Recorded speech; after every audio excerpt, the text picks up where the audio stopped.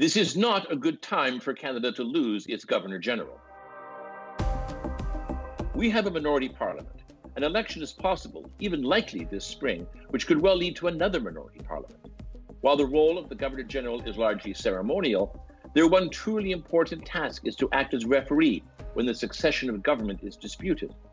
We saw that in 2008 when Michaëlle Jean agreed to accept Stephen Harper's request to prorogue Parliament after expressing her displeasure by making the Prime Minister wait two hours while she made up her mind.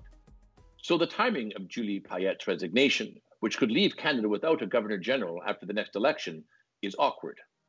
But that resignation was also necessary, which tells us a lot about how the nature of the workplace has changed.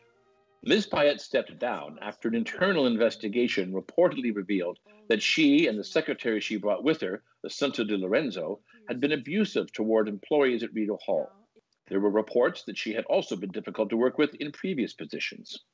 This was a serious indictment of Prime Minister Justin Trudeau. He bypassed the advisory panel that Mr. Harper had created to vet nominations because Ms. Payette, a former astronaut, looked so good on paper. Bad call. But her resignation might also say something about changing attitudes in the workplace. There was a time when strong, authoritarian, even abusive leadership was seen as an alpha male, and they were almost always males, asserting dominance in the workplace. When allegations of a toxic work environment first surfaced, I wondered whether Ms. Payette was simply being discriminated as a woman for a leadership style that would have been tolerated, even applauded, if she were a man. But apparently not. The environment that Ms. Payette and her secretary created was allegedly intolerable. She had to go. But even though the timing is bad, Mr. Trudeau needs to take his time finding a replacement for Ms. Payette. Let's revive that advisory committee. The Chief Justice of the Supreme Court can fill in for now.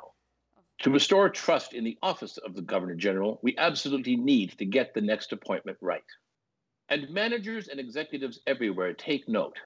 Not only does browbeating, berating, and intimidating your employees not lead to an improved work environment, it can get you fired.